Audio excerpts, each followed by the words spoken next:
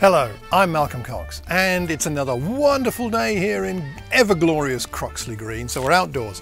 I hope the background noises aren't too distracting. It's what we're reading time, and what we're reading is Zeal Without Burnout. And we're on to chapter 5, which is called A Warning.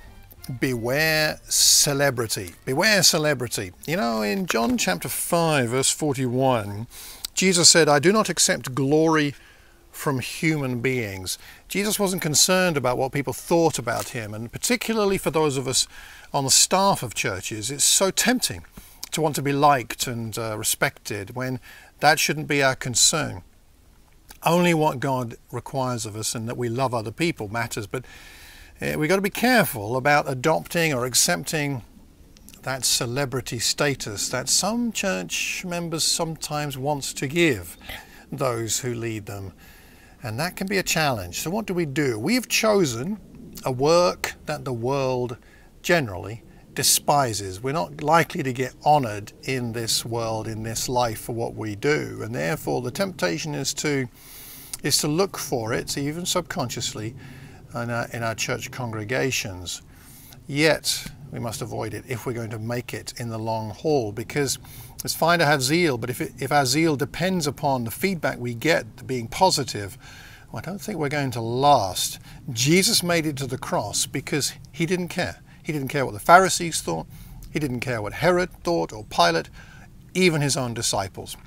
That wasn't what kept him going. It wasn't what fueled his zeal, and it, we must be careful that it's not what fuels our zeal and our work and our passion for what we do.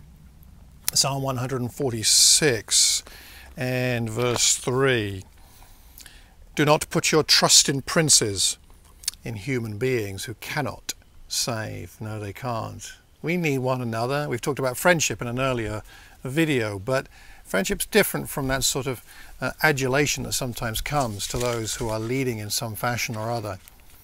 Perhaps a good way to deal with this, Christopher suggests in the book, is that we adopt the attitude of John the Baptist that we pray that Jesus will grow greater and we will grow less. Where is that? That's in John 3 and verse 30. That's what he said. He must become greater, I must become less. Could that be a prayer? A prayer that you offer. Say, God, help me become less so that Jesus can become more. Not suggesting it was easy to say. I'm not suggesting it's an easy attitude to carry with us all the time. I know I don't find it easy. I struggle so much with this because I want to be liked. I want to be loved, but I think I also really want to be liked. But this is a healthy prayer. Jesus become more, I become less. We follow a master who did not please himself, Romans 15.